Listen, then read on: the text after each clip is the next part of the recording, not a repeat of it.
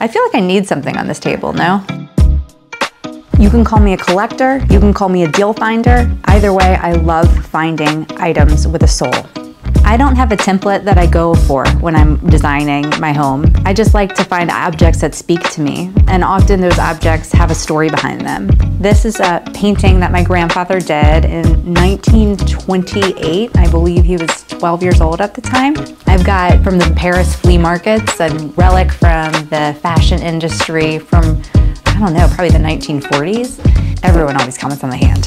This is a ceramic model that they used for selling gloves in department stores long ago. I found it in Asheville, North Carolina at a big uh, kind of flea market and thought this has to come home with me.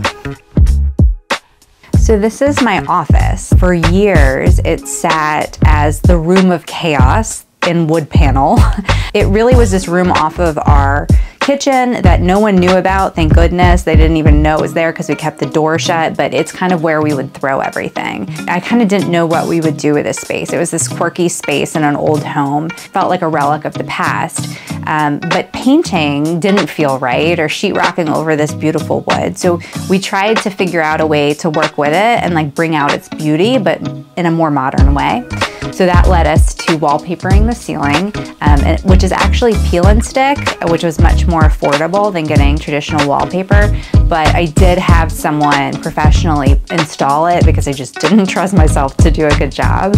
Just last weekend, we were in Connecticut and driving by a little roadside flea market. And my husband was joking with me because he was like, I didn't hear you say anything for 30 minutes. And then you looked up and you said, oh, cuckoo clock. So um, yeah, I've been looking for a vintage cuckoo clock forever and was super excited to find one on the side of the road at a little middle of nowhere flea market. And then we were in New Hope, I think celebrating our anniversary a few years ago and found this, someone was throwing it out on trash night. So I got to trash pick like a very old mirror and you know, had to do a little bit of work to fix it up, but I'm really happy with how it turned out.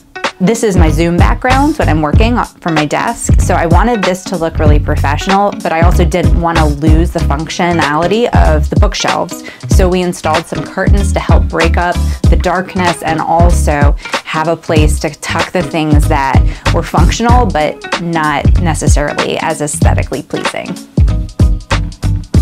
So this is our bedroom and there's some fun pieces in here. I love um, this chandelier. Reminds me of my grandmother. This was in her dining room when I was growing up.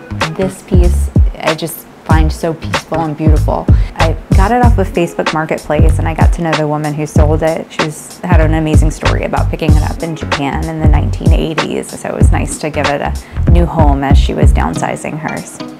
Thank you so much for coming to my home and touring with me. We'll see you at the next one. Bye.